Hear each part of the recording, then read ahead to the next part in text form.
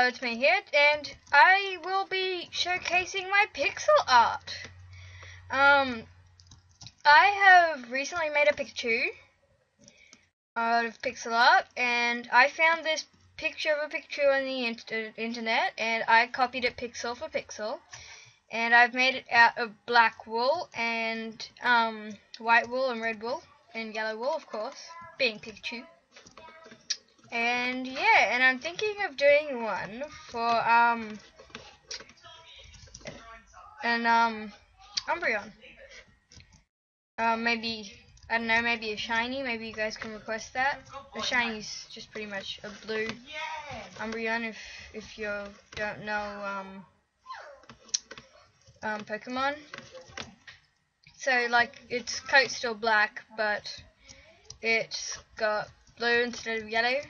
Um, I'll have to add in a picture for that, just so that you guys can see that. Um, so yeah. Oh, oh, it just fell. Oh, never mind. Lucky I'm on creative, or else I would have died. Um. So yeah. So this will be my first pixel art showcase. Um, I will definitely do a second one when I'm done with my um, Umbreon.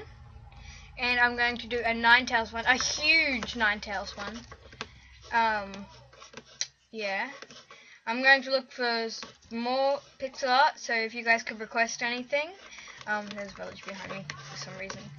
So if you guys could request anything, that'd be great. Um, I'm good with Pokemon and and um, building giant statues of people um, like myself. I've got a giant statue in a multiplayer creative world of moi, and it doesn't have any wool on it. It's only got um, stained clay, um, butter, iron, and um, what's it called?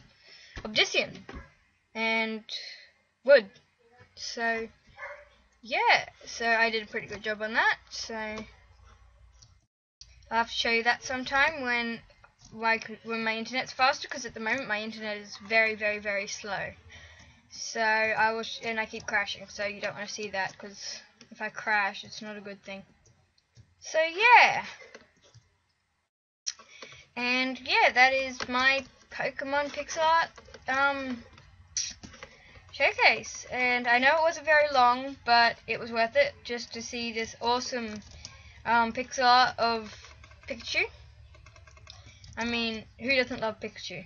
You mean he's just so cute, look at that. Anyway, I will see you rock stars later. Bye!